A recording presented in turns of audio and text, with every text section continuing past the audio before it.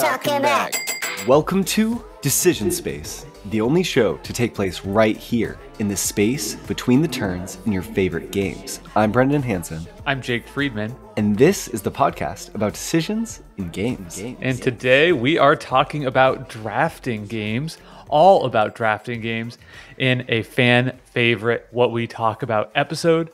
It's going to be awesome. But before that, just a really quick note of housekeeping. We are in the process of reviewing entries and giving feedback for the, our first ever design jam, the Decision Space Jam number one. Uh, so we just wanted to give a little bit update on where things stand there. First of all, uh, thank you so much to the 22 people again who submitted entries, or maybe it's 23 now who submitted entries for this contest. That is overwhelming uh, as we try. That's a lot of games. It's a ton of games as we try to make our way through those for review. Our plan is to do a sort of deep dive into the decision space jams, kind of what we noticed in some of the games, some of our favorite games that we played sometime in April, probably towards the, The end, of, April.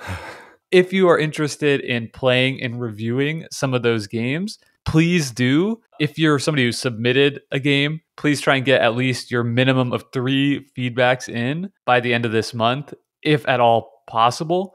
But if you're just listening to this now, I don't know how long we'll keep these all up there, but maybe just for a long time still. So you will be able to go check out some of these cool games that we're covering, that we're talking about and reviewing and and give feedback because you know whether it's now or or in a month feedback's always going to be super welcome and appreciated by the people who entered this jam so brendan have you played any yet are there any that you want to shout out just that you enjoyed so far I have. I've played three, and I've also played Jake's, and I have been really enjoying the process. I will say it's reminding me I've obviously play tested a ton of games in the course of my design life, and it's reminding me how fun that is and how many cool ideas typically pop up in prototypes and how different of experience it can be, sort of sinking your teeth into a prototype that's sort of like the untamed wild of ludological potential versus a nice packaged finished game that has its delights too.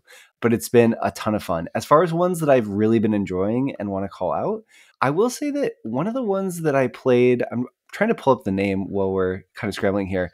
I played one that was neat. It had a lot of symbols, which uh, made it a little bit cryptic to get into at first. It's called Dynamic Dice, and it's this purchasing game in which you're getting income of different types.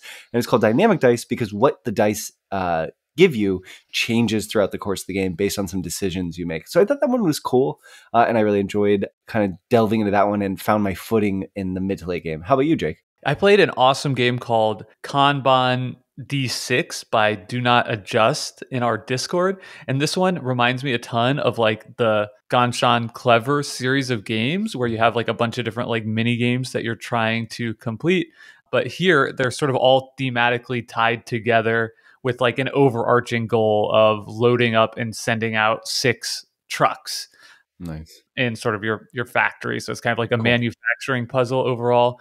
The rules were just a delight to read. Kind of some like funny jokes in there even. So I was just really impressed by this game. So happy to give it an early shout out on the podcast. So yeah, if you want to check out those games and others, head over to the Decision Space Discord, uh, and they're there for you to print and play right now.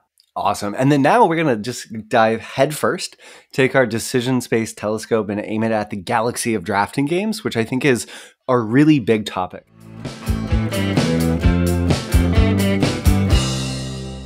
Typically, these What We Talk About episodes go really well. We start with a really big topic and we start very high level. So let's start by what do we mean by drafting games, Jake? We're we're going broad, right? Super I- broad. super broad. So what we have as a definition is any game where a core aspect of play involves players choosing between options. So this could be tiles, tokens, or maybe most prominently cards.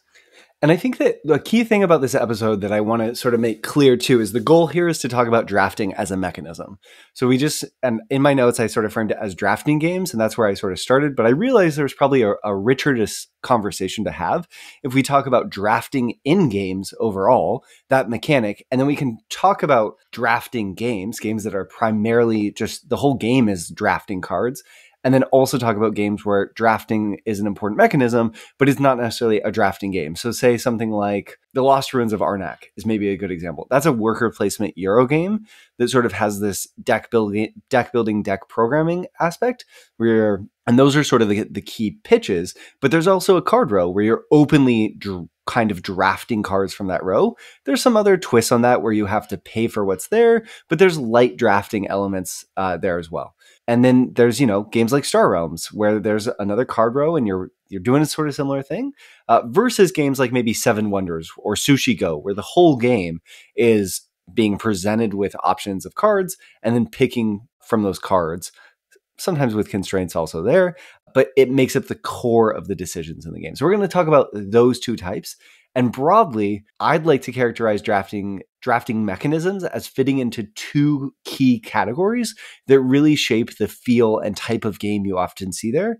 And those two types are open information drafting games and closed information drafting games. Jake, I'm going to tackle open information drafting games. And then since I've been talking a lot, maybe you can talk about closed information drafting games. That sounds Does that good. work for you? Okay, so open information drafting in games are games in which players draft from a public display. So that Lost Ruins of Arnak example I just gave, or the Star Realms example. Other examples that come to mind, both those games I wouldn't say are drafting games. Those are games that use drafting as a mechanism. Cascadia is a is a game in which you uh, are drafting a tile and a token of an animal, and then building a little map in front of you where you're putting those elements that you've drafted. I would say Cascadia is at least fifty percent a drafting game, and maybe more. The decisions so much are you win and lose your games of Cascadia based around your drafting decisions. Though there's this cool little map puzzle you're doing on the side, it really feels like an open information drafting game. Uh, other examples are games like Seven Wonders, where Seven Wonders Duel, where the cards are all laid out on the table and both players can see what options are coming up clearly, uh, except for the hidden information cards. And you're going back and forth drafting from this open display. Uh, and Ark Nova is another game with some open information drafting as a mechanism, where there's this card row. Uh, you'll, you'll see that in a lot of these open information drafting mechanism games, there's lots of card rows. Ark Nova is another one where there's a card row. Players can all draft cards out of that card row openly. So you all have a sense for what options are available, what other people are going for, and where you might try to block each other or get in each other's way. So that's open and, information drafting. Yeah. And in Ark Nova, too, uh, I think with our definition of drafting, we would also consider the uh, university tiles and mm, the kind yep. of partnership tokens as well as things that p- are available for draft for players to draft.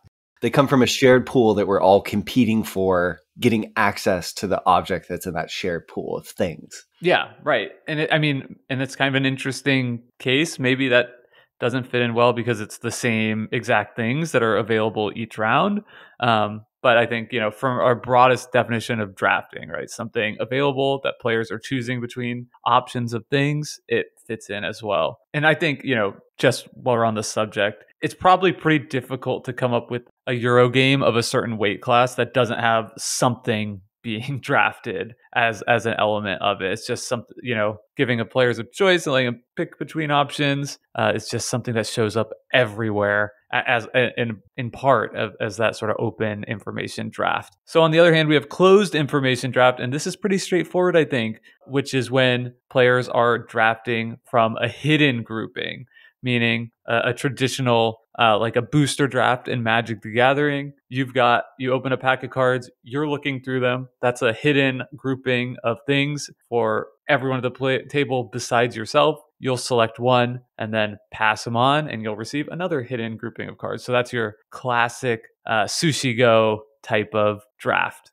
where those and then those packs get passed all the way around the table typically so then you get a sense for what might be in each of them and then yeah. there can be a little twist where maybe you're not just drafting one card but maybe you're drafting two or maybe you're picking two and putting one back or mm-hmm. there's so and many this, different yeah. and this can show up in other ways too right if maybe you have like a face down deck and players can kind of like look at it take one out and, and return it to the table as like a mm. smaller mechanism in games, but certainly this shows up less commonly than I would say the open information form of draft when it's like a smaller mechanism of the game. I think from a treetop view, uh, hidden drafting just requires so much more of the players that most commonly we see this being like the core part of the game when it does show up, or or at least a significant part of it. Perhaps a good example of that being like a hybrid is Blood Rage, where you have like a a whole draft phase, but then you have a lot of gameplay happening between those three drafts that kind of make up the structure of the game. Yeah. And I feel like games that people typically call drafting games are often what they mean are these closed information drafting games rather than more open information drafting games. That that's yeah. at least the first thing I'd assume when I hear it, right? Yeah. I'm thinking of I, things like Seven Wonders or Sushi Go. Yeah, I, I, think you're right. And like even a game like Santa Monica, which the mm. biggest perhaps I, I, would say like the definitive uh, mechanism in that game is the draft, right? That's yep. pretty much the main thing that you're doing and competing with players over on every turn. People would still call that a tableau building game more so than a drafting game. And I, and I think, you know, I think maybe it makes more sense to call it a drafting game, but, you know, that's kind of splitting hairs. Yeah. And I think has a lot to do with sort of the how the that game occupies the table space in some ways. I do you think Jake Blood Rage is an interesting example because it's it the, the drafting is so key to what you can do in the game, right? You're drafting uh, cards that give you combat units or cards that give you powers in some ways or cards that give you i guess there's the attack power but then there's also whole strategies that you can draft into that you wouldn't otherwise have available. And yes you're playing this sort of um, area control game on a map in between drafting rounds but do you feel like that game obviously the answer is it's both but do you feel like the game is more a drafting game? Like when you think of blood rage do you feel like no, oh yeah i'll sit down and play a drafting range? You feel like it's an area control game. I think it is yeah. It it's tough though. It's I mean, I don't think that ultimately at the end of the day it's that important what you know we sure. as a How hive mind say like this is this type of game. Clearly yeah. anybody who's talking about blood rage is also talking about the draft. That's a huge part of sure. the game. Nobody's going to overlook that. And i think you know the same with santa monica. It's also yeah. yeah it's the tableau building game too of course. I don't really care you know what we're saying a game is. And maybe it's it's you know what it ultimately gets tagged as on board game geek or you know whatever we think of it as in the hive mind has more to do with sort of like the look of the game than mm. ultimately like which like Where mechanism actually takes takes up the largest part of the decision space or has yeah. the most interesting decision space. Yeah. Uh, you know, with Blood Rage, you've got small cards and a giant board and giant miniatures. So the uh, even if you know the draft is perhaps like the most interesting or deepest strategic part of the game, it's hard to walk away from that game and not mainly be thinking about like the miniatures and the board and the stuff yeah. that happened there. Or fighting with Jake and playing the Loki strategy and the feeling that comes from that more viscer- viscer- viscerally emotionally. Yeah. Um, okay, so Jake, we've established these two sort of like error versions of drafting games the closed information drafting game and the open information drafting game. And I thought it might be nice just at the start of this episode to talk about different formats that drafting can take and talk about sort of if they're open or closed and what they look like. And in part, I want to do this one because I think it will illustrate how flexible this me- mechanism actually is and how widely it appears across all games, which I think is part of the reason an episode like this is interesting. It's sort of everywhere and it will let us get at drafting in lots of different angles and kind of get a a handle on what exactly we're talking about. But then also, I think there's really interesting case studies here of cool game ideas that people might be able to take away when they're listening. Say like, oh, I hadn't thought of a game that kind of uses drafting in that way. So we can kind of accomplish both as we go through this little survey. Sound good? Yeah, sounds great. Okay. So I feel like the most natural place to start, the place that I went, was what you mentioned, a booster draft. So in some ways, the closed drafting game, the private hidden information drafting game, in terms of at, I don't know if in actual sort of game mechanism history terms, but at least in sort of the cultural mind share of when people think of drafting, what they go to, started with Magic the Gathering and people wanting a new way to play Magic the Gathering where you could have access to new cards and not constructing decks before, but part of the play experience itself was getting new cards and putting together a deck. So that's what Jake mentioned a booster draft. Everyone shows up at the table. You open a pack of cards. It's randomized. You pick a card from it and you pass it to the player on your left. You'll receive a pack from the player on your right. And you do that again and again and again until all the packs are drafted. And I think that's sort of, to me, that's the, the basic drafting game. That's the vanilla version of drafting. Open yeah. a pack, take a card. And all of a sudden, you get all the cool things about drafting games. You get things like having to assess the power level of cards in the first pack you open, knowing it's the most likely pack to get back, think through what cards are most likely to come back, and then assess okay, should I take what I think is the best card here?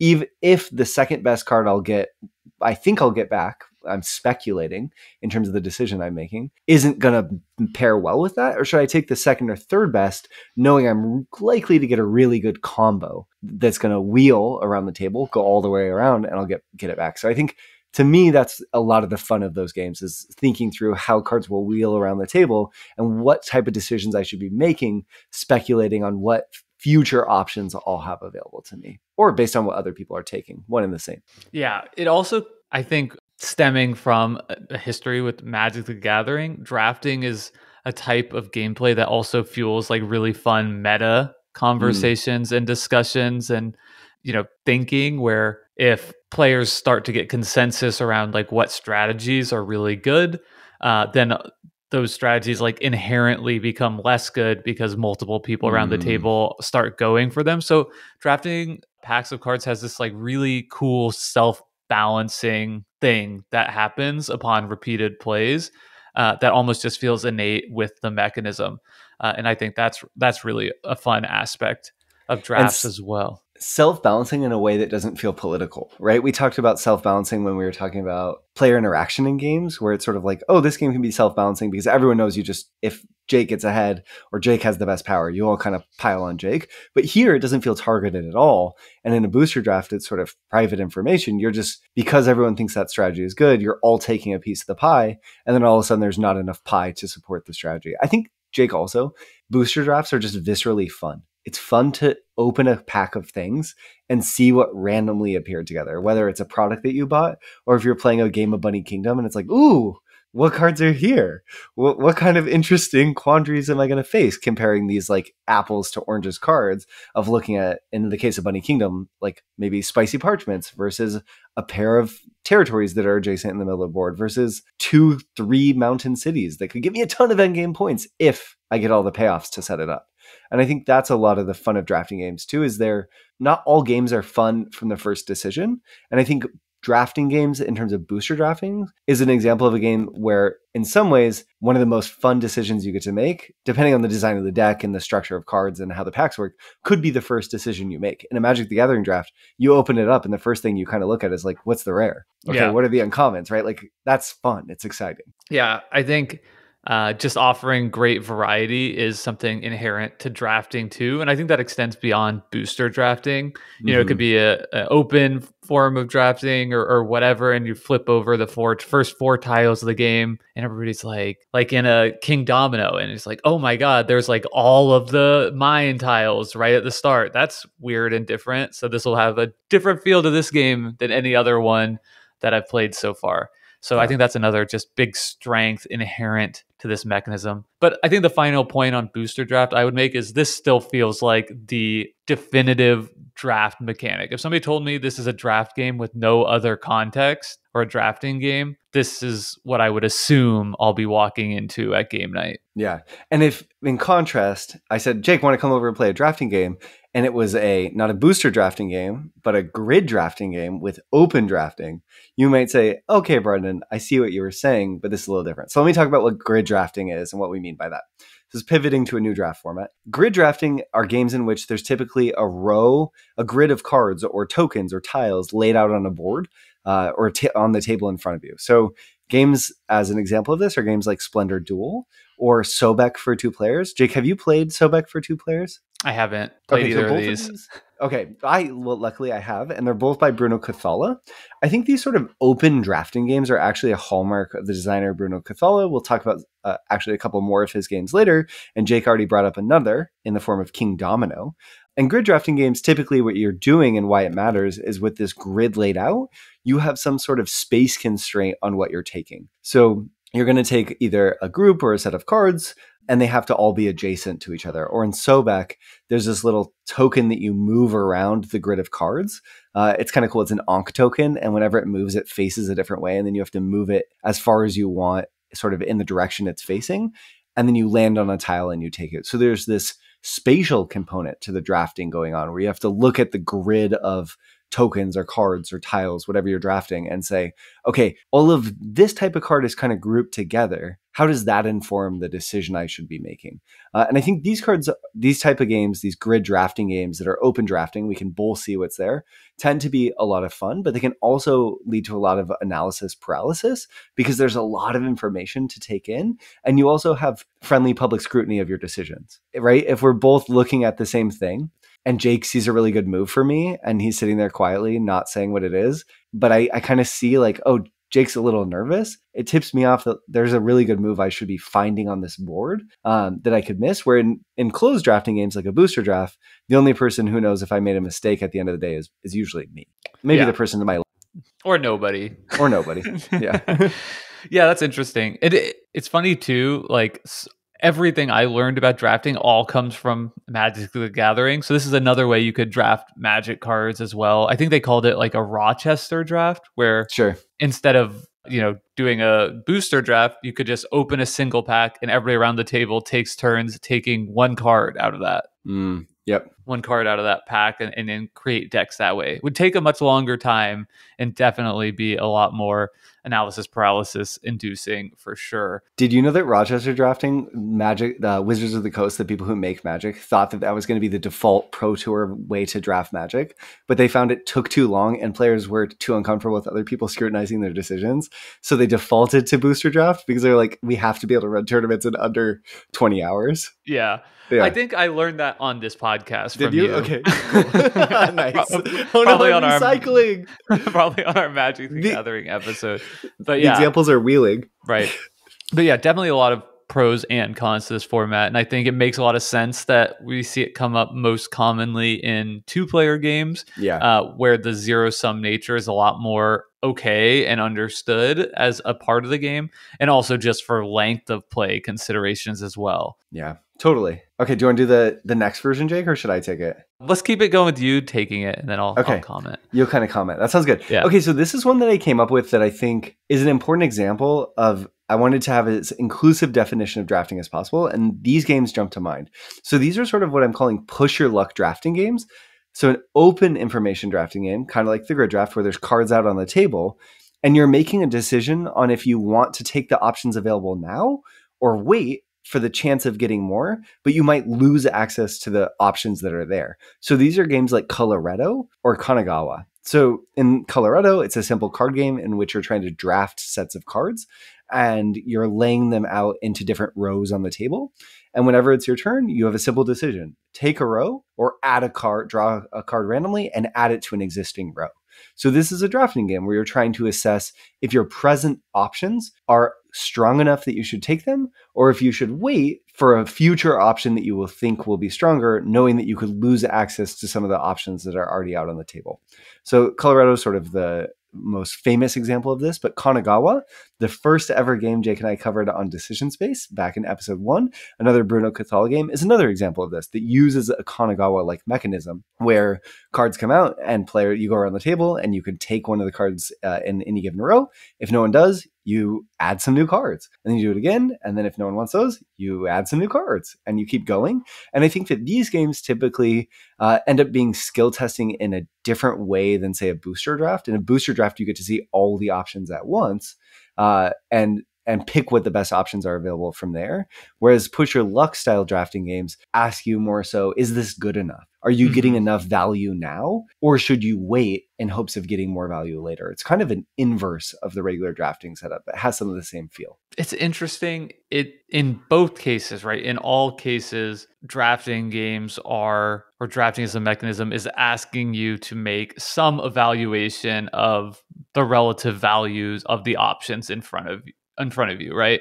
Like yeah, drafting game is like which of these cards is the most valuable to you given the board state or whatever, given, you know, the other cards you've drafted, given all the data points you can pull together uh, and use those to figure out like what's the most valuable thing and I think this form of drafting, pushing your push your luck drafting, is doing the same thing. But like you say, it gives you an extra tool where you can say, actually, none of these things are valuable enough when I, you know, to forego taking this risk for something better.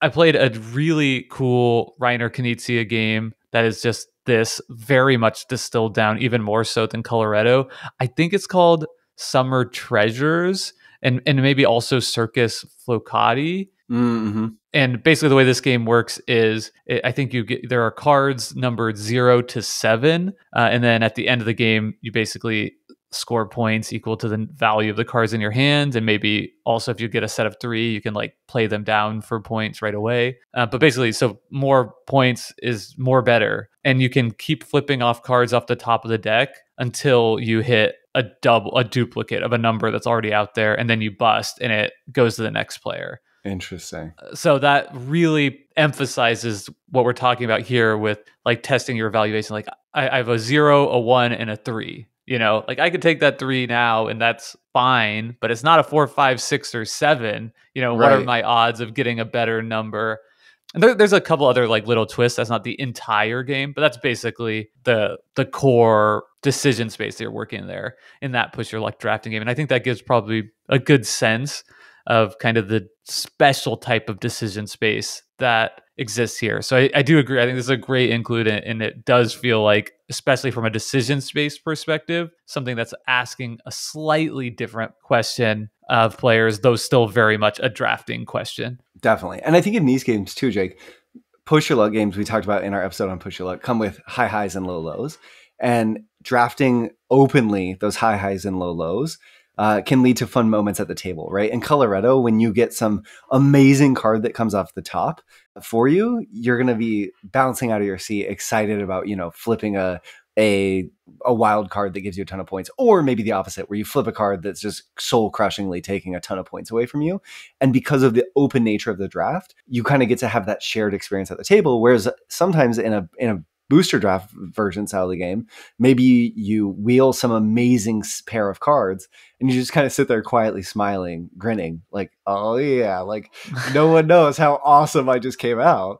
And I like that in the push your luck drafting style games, oftentimes they're they're open, so you get to kind of have those big table moments. Whereas sometimes the more closed booster style drafting games, it's a more personal experience. Yeah. One other interesting thing about the intersection between push your luck and drafting is that relative positions among players at the table can be really different and impact the draft decisions in an interesting way. So when you're drafting, you're inherently competing against other people at the table for this like limited set of resources, whatever we're drafting. And in a push your luck game, Brendan, if I'm up a lot, then I want to play cautious. I'm fine with taking a two, right? In Sure, Circus yeah. And just getting two more points. You know, that's fine with me. Whereas if you're down a lot, you're gonna feel the need to push your luck more and get something better that can like help you catch up and, and bring you back into the game. And I think that creates a really interesting dynamic too with the draft where we're now all of a sudden uh, it's since we're operating entering that draft are from a very different places it really changes the way we'll evaluate cards and, and evaluate taking risks Totally. Yeah. Well put, Jake. Okay, this next game, uh, next drafting format I want to talk about is called Winston Draft, and I actually learned. Uh, I think I knew of Winston drafting, but I was reminded of it by a BGG user, Storm Parakeet, who had this really great post on drafting methods overall that laid a lot of the groundwork for a lot of these examples. So I wanted to highlight it, and Jake and I will put it in the show notes and on the website uh, on the webpage for this episode on decisionspacepodcast.com if you want to reference it. Uh, but Storm Parakeet, and I'm actually going to read about Winston drafting from Storm Parakeet. So thank you, um, because they lay it out really clearly. This is a draft method for two players that was conceived for Magic the Gathering. It starts with a deck of cards of any size. Lay out three cards face down on a table. The first player takes a look at the first card and then decides whether to take the card or pass. If she passes, she places the card back on the table, again face down, and draws a face down card on top of it from the deck. Then she can look at the second card and again choose to either take it or pass and add a card. If she chooses to uh, pass even on the third pile, she gets a card from the deck. So you sort of choose if you want a card. If not, add a card to the top of it hidden. Then the other player goes, and you continue drafting this way until all the cards have been drafted. So this is neat because this is sort of a hybrid variant drafting game where it's open information and closed information because you both you have a sense for what will be in the piles if the other player doesn't draft them, but you don't have a sense for every card that's there. And then you also know that if the other player didn't draft it, that they didn't want it. And you might have a sense for what they did take in the past. So it's tickling a lot of the same sort of decisional knobs that you have in a booster draft, and then some of the same ones that are in an open draft. So it's this nice mix. It's fiddly, so it works best for two players. And then they mentioned that the board game Canopy, which came out last year, I believe, has beautiful Vincent Dutrait art, actually uses Winston drafting as its core mechanism. Uh, so that's a nice hybrid version of a drafting game with both closed and open elements. Yeah, yeah. I, another one that I have memories of playing Magic using this exact draft format back in the day with friends yeah, I agree. I, I I'm not surprised to hear this one doesn't come up as much in modern board games, just because, as you point out, it is so fiddly. Yeah, and and when you're playing, it says for two players, but you could definitely do you it with play more. for more. There's yeah. no reason it has to be a two player only drafting format, uh, and I actually think it probably work, makes more sense not in a two player game, just because it's weird in that case that it's like you you might as well just have the cards face up pretty much. Mm. I guess not really because you have to have the hidden information to see if you want to like look at the next card or not. But it is Yeah. weird that you just have to do just looking only at one new card and keeping everything face down for that reason alone, which is definitely going to add just time to people, you know, remembering and looking at everything. I think if I were to design a game using this, either try and figure out a way to make it work for more players or add something like two or three new cards to the stack. So at least you're accelerating. it. playing with a lot of new information every time you're looking at a face down pile of cards. I do think an interesting element here too is if you're only looking at the top card, is you introduce an even stronger mel- memory element. And one thing about drafting games, just by the nature of how they typically work, if they're closed information drafting games, is that they tend to reward uh, players who have strong memories. And oftentimes, the memory el- memory and skill testing memory in games can be divisive. And I think drafting games are one of the most closed information drafting games, are one of the most publicly accepted, sort of the popularly accepted versions of memory and games being good. Right. So in, in those games, maybe in say a game of seven wonders, I really benefit from knowing the other cards that were in the first pack that I open. So I can make decisions in future drafts, in future packs around what might come back to me. Uh, and that's part of getting better at a game like Seven Wonders is remembering what might come back. And if you're not doing that, you're really missing an edge potentially on the table. So yeah, I just thought that's kind of interesting. I yeah, I, I missed that. This is you're only supposed to be looking at the first card. I don't know if I played that way when I was a kid or You not. would look at all of them. Yeah, but it is interesting how that just so clearly is demonstrating the importance of memory Yeah. in drafting because I think part of the reason that like booster pack drafting or that style of drafting gets a pass is because it's less obvious the importance that memory plays in the game, right? Mm. I, I think generally that's sort of like something that takes players a long time to kind of get to that level where you even need to really start considering Sure. it or or where it starts mattering and like for me we, we recently covered bunny kingdom and that was an example of a game where it took me a lot of plays before i even started like thinking about that at all because i was just focused on other aspects of the game and it's it's nice that it's there for players who play bunny kingdom you know a dozen times like we did for the episode but it's fine also if you know if you're playing with a bunch of new players you're not missing out on anything Yeah. um, maybe the person with the best memory has like some tiny edge in that case, but it's not going to be as like profound as what this is presenting, where it's like, oh shoot, I, that, it was that first stack that had the you know X card in it, not the second one. It's interesting too, Jake, because the Bunny Kingdom example I think brings us to the forefront, which is that let's just say we're going to play a game of Bunny Kingdom, right? And we all uh, there's someone who has an incredible memory, and then but they've never played Bunny Kingdom, and there's someone who's played Bunny Kingdom a ton, but they have a, pretty good memory.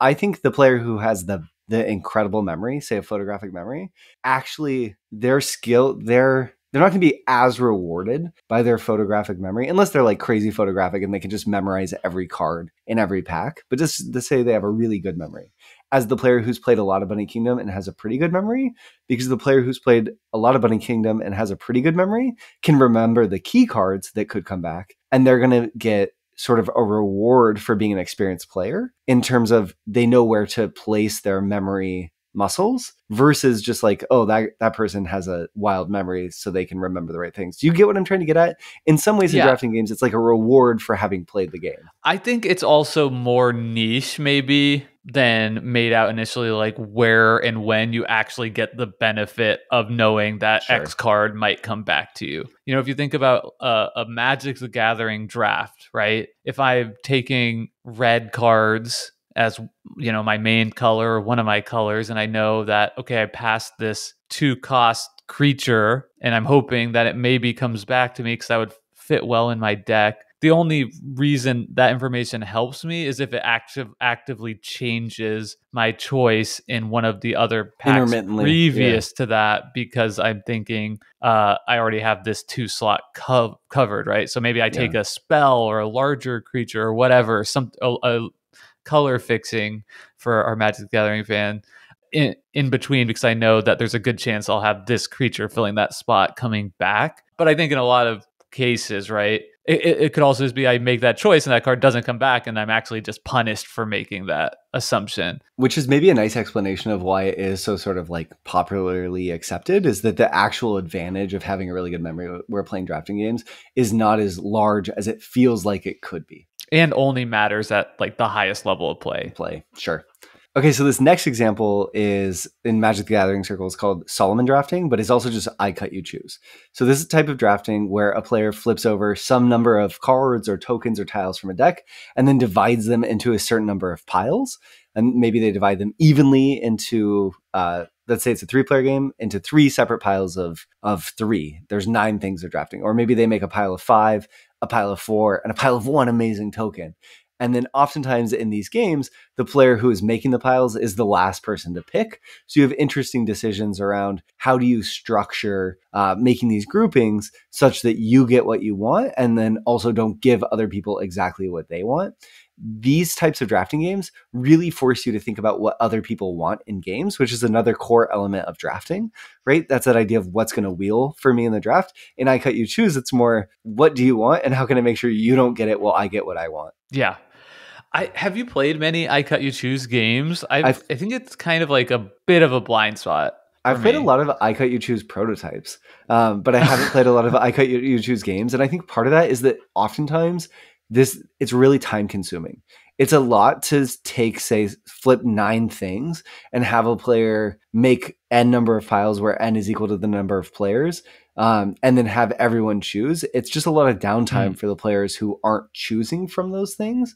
Um, so the decisions can be really interesting, but practically, uh, it's not always as exciting as you might want it to be. I feel like maybe these can work best as a really small decision in in a larger game. So I was thinking of one thing I was thinking about that I don't think is exactly right for this is like a game like Wingspan, which has Mm, resources in the bird feeder and, and some of the cards are sort of like you know you get to choose like everybody's going to get one of these things and you get to choose who who picks first uh, Yeah. and then you can try and like craft either take what you want first and just get it out of the way or if nothing is available to you try and craft a situation where maybe by the time it gets back to you you'll have a reroll or be able to reroll and have a better chance at getting it. You know that's that's not quite right but it feels you know choosing where we're if you just have a set number of things and you get to choose where we start going around the table that's almost like a mini version. Do you think do you think that's like a mini version of this? I think it's yeah, it's definitely like getting at some of the same ideas. yeah but in a way that's just like procedurally a way simpler entry point that requires way fewer decisions uh, and just you know general taking in of information on the part of the person making that split choice Totally. I think this could also work really well in a heavier Euro game where you're creating piles during the downtime in other people's turns. So maybe you take turns making these sort of groupings and it rotates around the table. And kind of like in a Feast for Odin, where you can mess with your tiles on your turn on your grid in your downtime, maybe here you're making the piles during other people's turns. And when it gets back to you, then people pick. And, you know, so you're not wasting other people's time with making the decisions if it's the only the only mechanism. But Yeah. it's fun I- decisions. Yeah, it is. And it- it is a nice way of like, or maybe nice isn't the right way, but it's a way of kind of taking ba- balancing choices Yes. out of the designer's hands and putting it squarely into the hands of a player, almost auction like in that sense. Yeah. I mean, you know, probably people listening to this episode be like, these are all auctions because every game is an auction, like whatever. But it does feel like this in particular has like it's skill testing in the same ways for sure. yeah of like it's it's making you not literally ascribing values but like saying like in general the way to succeed in this game would be to create the most equal sets possible so that you're guaranteed you know being the last person to pick is kind of inherent is inherently the worst position Yeah. so you want to create uh, if you create exactly equal stacks then you give no advantage to the first player Yep. compared to you. So right, so it's kind of if that that's what it makes feel like. What are what are the value of these things? A last game I was just thinking about is Isle of Skye. Kind of Mm. has this uh, where you get three tiles. One you remove from play, and then the other two, I believe you assign a value to, like a literal value Wow. so that's the kind of kind of again is a little element of uh, I cut you choose, but you know again simplified And for pace of play and actual you know usability reasons. I think Totally, which is really important. I think so. If that's an example of sort of asking players to balance in terms of decisions, um, another way that you can use drafting in games and that we see in games is uh, what I'm going to call variable setup drafting or balance drafting. And this, I was reminded of this by Krill in our Discord. Uh, and a good example of this is Agricola. So there's these occupation cards in Agricola that are really important to the pace of play because the occupation cards give you essentially sort of unique powers or things you can do that you wouldn't have without those cards. So they inform your strategic path through the game.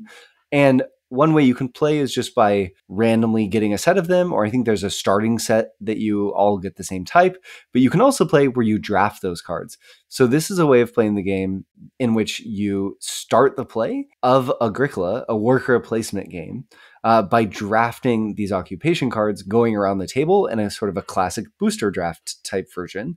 Uh, and there's different ways to do it. Maybe you're picking uh, seven cards from packs of nine, or maybe you're picking seven cards from packs of seven, these sort of different variations that shift the decision slightly.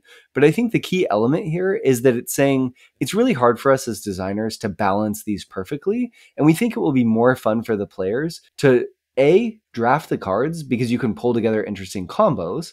But B, draft the cards because you'll be better at sort of pulling the most powerful cards out first and making sure you all get roughly equal hands if all of the players are roughly equally skilled at the game. Uh, and I'm calling this sort of this is distinctive from something like Seven Wonders, right, or Bunny Kingdom, where drafting is the game. This is a version of drafting where you draft before the game as kind of a prelude or an intro, and then you play the game. So it's you're drafting your inputs, your pieces with which you'll play the game. It's not that drafting itself is the game. yeah, I mean probably the best known example of this is Catan, where you're drafting initial placements on the Mm. board, Yeah. right? Yeah. And it works perfectly. If you randomly assigned uh, placements in Catan, it would not be a fun game. You need the draft to balance out that game and make it fair because if someone, the board is randomly seated, so if there's a, a killer spot um, and they get two of the really amazing locations, they're just going to win the game. So Catan or Catan is sort of held together by the power of a balanced drafting in- prelude or intro. Yeah. Another really interesting example of this that I played recently is Age of Innovation, the re-implementation of Terra Mystica, which famously is a game that has uh, unbalanced factions in competitive circles. So uh, I I haven't really engaged in Terra Mystica to this level myself, but I know that people who play it competitively will figure out ways to create balance prior to the game. And I think one of the ways is you see which factions are going to be in the game and then actually auction points for the more powerful factions. And the way it works in Age of Innovation, I think, kind of taking a cue from the competitive player base is they've incorporated this balanced drafting. I like that term to the setup of the game. And here you're coupling the factions with distinct player boards and maybe also different like starting cards of some type. And you sort of take turns drafting them. So by the end of the draft, you'll have one of each and both giving you maybe hopefully a more balanced setup, assuming equal player skill, but also giving you your own sort of identity where like I knew at the start of the game, it signposted me really well in my first play because I was like, I'm the goblins, uh, you know, so I and I like this kind of territory type and I'm really good at digging. And you know, that's kind of like what I'm going to focus on in this play. Gives you signposts. I think another example of a game that comes to mind, Jake, is Findorff. That's a game that is sort of a rondel based engine building game, but card driven because the cards are how you get points in that game. Uh, and that's one where you can play with just assigned set hands. But when we've talked about this on the show, you can also draft them. And I think that games that do this are really cool because they give you, if you really enjoy that game, typically these balance drafts mean that you're going to be able to play it a lot uh, because it's going to be different every single time you play it. But the trade off for this highly increased variability and depth is that it asks a lot of its players, right? You have to really understand the value of cards in Agricola to draft them well. And if you don't draft them well in Agricola, you can almost completely you can really put yourself at a significant disadvantage. And then you have a two, two and a half, three hour Euro game to play from a really disadvantaged position yeah. at the end of the draft. So that's the downside of it. Such a, a good point. Yeah. It's truly a double edged sword because it balances the game if equal skill, but it just, you know, to the Catan example, right? If you have somebody who doesn't understand the game well and somebody who's really good, uh, it ensures an unbalanced setup yeah. as opposed to random. If the designer's are your parent trying to give you a really good meal and they give you 20 bucks to go to the corner store to buy your meal and a piece of candy, right? Yes, and perfect. We'll balance you... it by just letting you choose what you Exactly. but if you just buy soda, you're going to spend the whole night hungry, right? Yeah. Um, it's kind of like that. Okay, so the next sort of drafting uh, format that I could think of was entwined drafting. This is a big one. This is another, usually where I've seen this is in open drafts, but it wouldn't necessarily have to be. You could come up with a clever mechanism to have closed entwined drafting, I think. Uh, but this is where you pick a pair of elements, either of the same type or different type of things. So you can pick A and B, B C and D, or E and F, but you're always picking A and B or C and D or E and F, right? That we're going to create a random grouping and then you're going to choose between these random groupings of things. So Cascadia is exactly this. You're randomly putting down an animal tile and you're randomly associating a terrain tile with them and you're saying, okay, pick from these variable pairings of cards. And these entwined drafts drafting games work really well because they create variably sort of variably valued lots that you're drafting, right? If you're in Bunny Kingdom, there's you're creating various values for the cards in different ways by the board state through the board state. In Cascadia, it's by randomly pairing these things and then you looking at your own board state and saying, okay, that's amazing for me and that's not quite as good. Okay, these two things are both pretty good for me which one would it be better for me to take? What am I more likely to see more of in the future? Sort of mm-hmm. shifts the decision space. It kind of makes you juggle. Yeah, I, I don't know that this makes sense as its own category. I think it's just a subtype of grid drafting. Sure. Because, okay. right, like if you had, you know, if you're playing Magic and instead of putting out nine cards in a grid, you put three you put cards in each yeah, of sure. those spots or two, right? Yeah. You know, or a different game, right? You know, three different random resources here and three here and three here and three here and pick your set. Yeah. Uh, I, I, agree that it's like the input, like the thing that you're drafting creates really interesting and distinct considerations from the other forms of drafting that we've been talking about, which is sort of assuming that each time you draft, you're just taking one thing. So I think it's an important note, but probably not like a different type of mechanism in my mind. Yeah, I think that's really interesting. And it kind of highlights how all these things are are at their core sort of the same thing with these really minute twists, right? So this uh, next version, player range drafting. So this is in things in games like say Dice Hospital or Coloretto, which we already mentioned, or Castles of Mad King Ludwig, a game where there's set prices and you're assigning the prices of tiles and then going around and picking them. Is all sort of open drafting, but the the difference is, is that a player at the table gets to pick how the sort of sets of things are being combined to be drafted rather than them being done randomly. Yeah. Yeah, I think that's a a really interesting one. And maybe that fits no, I don't know. I was thinking is is Isle of Skye more here or more I cut you choose? I guess is more the latter, perhaps. Hmm. I don't know. How, so how does King Dom? I see Kingdomino in our notes under this one.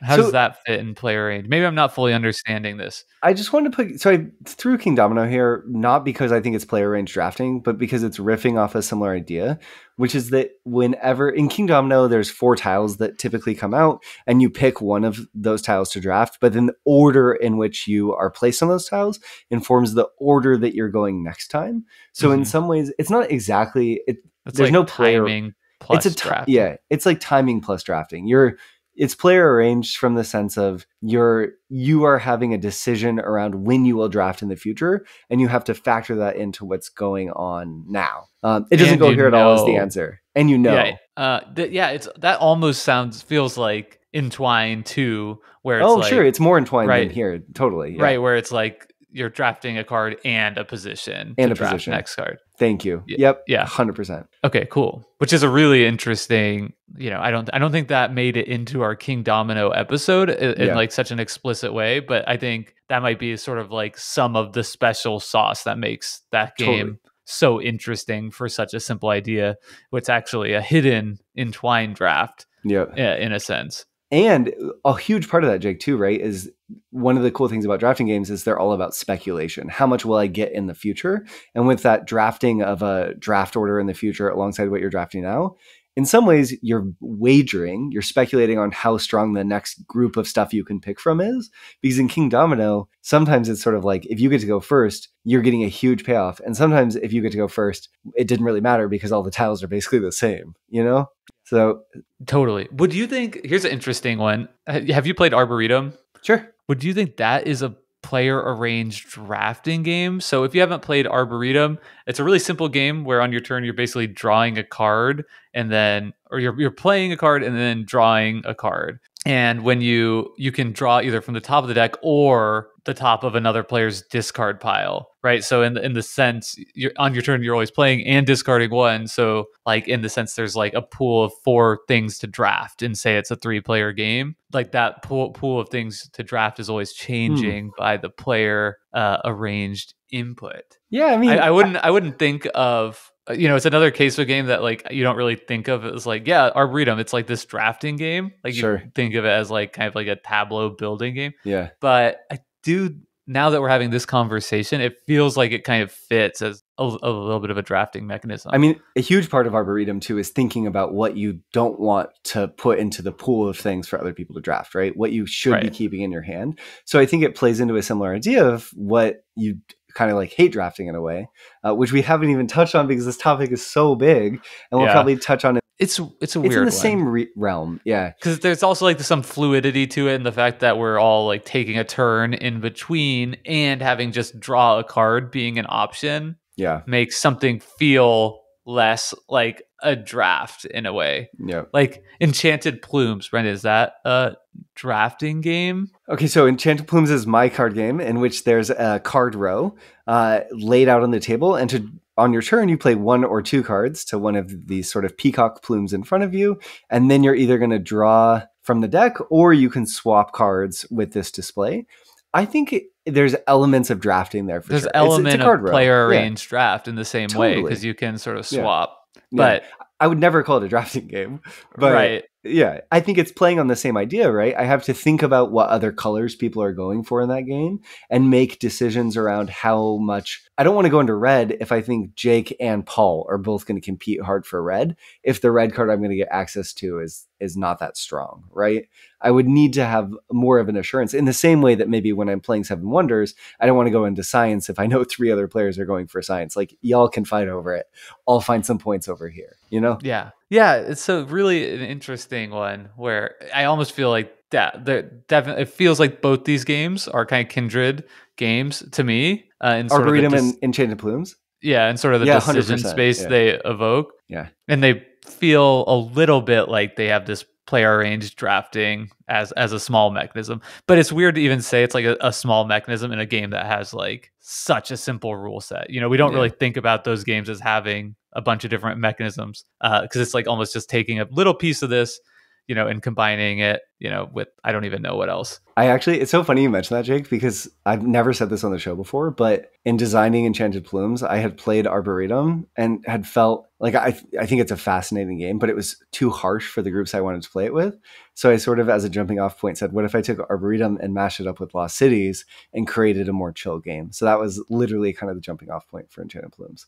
And you can play Enchanted Plumes with a deck of Arboretum cards if you ever want to try it. But don't do that. But don't do that. Yeah, just buy the game, yeah. and then you can play Arboretum with it. But don't do that either. Go buy Arboretum too. yeah, right. Bye. Okay, drafting. Okay. We're so close to the end of these formats, and then I think Jake, Yeah. it's hilarious because we've gotten through a third of the notes, and I thought we were going to get through half. So we'll have to talk about our part two that we can surely do. I think this is just highlighting. Like, there's probably s- in my original vision of what these notes could have been, probably six episodes because this is such a big topic. There's next so two- many types of drafting. There are, and we haven't even talked about sort of the considerations in design or decisions and the skills tested. And that's what we'll talk about in part two of this episode at some point uh, in the future. But for now, we'll just cover these examples. And I think this will be a really cool episode because it kind of will set up those decisions and frame them and a nice sort of starting point for people on drafting games if you've never heard of them. So, this next type, Jake, is solitaire drafting, which I wanted to highlight. Uh, and my example is challengers. Challengers is a drafting game. There's no way around it. You're drafting, uh, you're drafting cards to make up a deck that you're going to use to battle other players. Uh, but when you do that, you're not sharing a pool with the other players of packs that you're passing around the table. You're not drafting from a, an open display of cards, taking turns. It's the most simplified version possible, which is just that you, you're drawing cards off the top of a deck and you're choosing some of them, some of those cards to keep. To me, that's still a drafting game because you're still picking things from a set of things to add to whatever you're doing with it. And I think that that's a really streamlined, most basic version of a drafting game. Yeah. I mean, I don't think it makes sense to say like you can't have a solo game with a drafting mechanism, yeah. right? Yeah. So I, I agree. I mean, I, I I do have to say, just for challengers, I do believe it's possible that in a large game that uh, your drafting decisions can impact other people if you Totally. recycle the deck, right? Uh, in Yeah. which case, yeah, because I took this card out of it, as soon as that deck gets recycled, right, you're less likely to to draw it on, on another time through. Yeah. But despite that, right, you're, it is definitely distinct from these other formats. That's like the thing that I'm taking from a pool is immediately impacting, you know, your ability to take something. Like these are distinct. It's almost like a delayed impact draft or something Yeah. like that. Totally. What other And- games have this mechanism? Can you think of any? Solitaire drafting games. I know there's others. None are jumping out at me from the top of my head. Um, but drawing cards from a top of a deck and choosing what cards you keep from Yeah, the I cards think you that's drew something is just that such comes a up- core mechanism. That comes Yeah. up a lot, right? Like I think in a lot of like kind of engine building games. you can kind Yeah. of- like oh, how about uh Race for the Galaxy even? Oh, sure. You Yeah. draw X cards and keep one with that Sure. like first explore action. Yeah, yeah, perfect. The explore action and race. Yeah, great example of a solitaire drafting mechanism in a tableau building simultaneous choice card race game. Yeah, there Perfect. you go. Um, okay, and then the final one we've already that I had listed was sort of card row drafting, which we'd already mentioned, right? And so many games are built on this of games like Star Realms or even uh, Ascension, just a lot of deck building games. Kind of this became the default mechanism following on uh, Dominions. That's randomized the group of cards that are there. The sort of follow For up a for a grid lot of, draft. for a grid draft. Yeah, a lot of deck building. a lot of- Although not spatially. is that a solo solitaire draft as well? Because you're actual it's similar to challengers, right? Where it's In not going to impact yeah, right? Like it won't impact anybody else's ability to draft what they want until a a pile runs out. pile runs out. Though it can, if you're all playing with witches and you're just trying to smash the wishes into your deck, that could impact you a little bit. But yeah, I think it's a similar idea. Yeah, where like the idea is It's generally like a solitaire grid draft. yeah, which- totally Which maybe is worth pointing out that all of these things could be, you know, mix and merged together. Yeah. You can have hybrids of all these things. Yeah. To Yeah, create and- like your own nuanced draft Yeah. mechanism. There's like an infinite sort of space in which you could iterate on different versions of drafting mechanisms, but they all Yeah. go back to the sort of same core idea. Mine's like where you draft a card, but every time you draft a card, you have to uh draft start a new draft. You know what I'm saying? Oh, like, like, a draft within a draft. sure, like the a Scheherazade draft. Exactly right. Yeah, you have to go You're- under the table to do your second draft. You draft a card, and then you draft a card that pairs with that card, and then you pass those pair of cards to someone else, and then they draft two more cards. That, yeah, then they pair Yeah. with those, and you pass them until you're drafting whole stories of cards passed around the table. Yep, We did it, Jake. I love it. the worst possible of all worlds. Speaking of cumbersome and difficult to play, that's kind of interesting though, Jake. So it's like reverse pack drafting, where so instead of instead of drafting from packs of cards, you're building a whole set of things, and you're trying to decide if you're the one who takes that whole set. Maybe you're like adding cards to it and taking it out. So you're like communally building packs. Have you I'm ever done an, this idea. Have you ever done like an anti-draft in Magic the Gathering where you uh, draft the worst possible pool of cards you can, and then like pass those to somebody on your left, and then there could be like two winners of the draft: the person who actually wins the most games, like, and then also the person who's like deck did the poorest. That's so funny. No, I've never played that way. That's hilarious.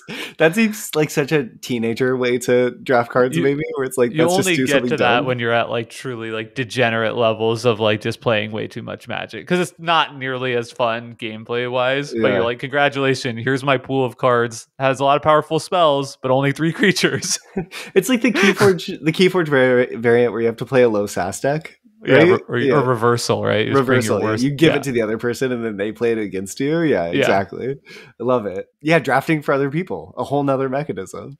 So I think that this kind of really highlights sort of the that drafting. I- wanted to really highlight how core to games and decisions drafting is before we delve into talking about different considerations in in designing drafting games and maybe our follow-up episode and also the decisions and skills tested in them. I felt like it'd be it was important to talk through some of these examples um, to show how different they can be, while knowing that all of these sort of different versions really share sort of a core set of feelings and types of decisions being offered and skills being tested, even though they look really different on paper. So, in some ways, when someone was thinking through designing a drafting game, you want to think through what the best tool is for the sort of flow of the game, knowing that sort of the decisions on the back end are oftentimes going to be really similar and the feelings evoked might be really similar. And you think through how you want to amplify these different aspects through the format of your draft. Yeah, I can't wait to have that discussion. And I was just, and I do think this is still an area of game design that's just because of how fluid you can move from one format or, or one type of draft mechanism to another. You can really create the perfect mechanism for your game using these tools. I, I just played Robot Quest Arena and talked about that on the podcast. And that was a deck building game that I thought had a little novel twist to the card row draft that was just absolutely perfect for this type of super light family weight deck builder, which was that it had a grid of cards. So you have nine cards. The six at the top function as a card row where they're constantly being replaced. And then you have three at the bottom that always remain the same, that have like your Mm. most standard actions. So it's kind of doing both things in a an even like more accessible way to players. that's like you're cool. always going to have something you can use available to you on your turn, um, but you're also going to have you know the dynamic moving market at the same time. So it's kind of I you know I hadn't seen that really before, and it's like such neat. an obvious mashup of Dominion and Star Realms in that way. Yeah. Which, of course, the company that published uh, Robot Quest Arena, the designers yeah. of Star Realms, yeah, Yeah, yeah, um, the or the publisher of Star Realms, I should say. Well, cool. Um, I would say for listeners, let us know what games you think we should definitely mention as examples in part two of this episode. Uh, once you hear this one, in which we're going to talk about the decisions and skills tested in drafting games, uh, both open and closed drafting games, and sort of different considerations. Sort of as designers think through all these different infinite variations of drafting games, if they exist, what are all the knobs they can go to and kind of turn, uh, and how does that affect the feel of the game that's going to come out on the other side and the decision space ultimately created? So I hope you enjoyed this sort of broad survey of drafting games and formats of drafting games of both open information drafting games where everyone can see everything on the table uh, and closed drafting games where you have sort of a private hidden group of cards, and also these different formats as a way of setting up that future episode. I love drafting games, Jake. I think they're some of the most fun games you can play, and I'm excited to to talk about them more. And maybe I can twist your arm and we can make it a 30 part series. All right, sounds good. Well, thank you all so much for listening to this week's episode of Decision Space. As always, we should thank Hembree for our intro outro song "Reach Out," and we'll see y'all next week. Bye, bye, bye.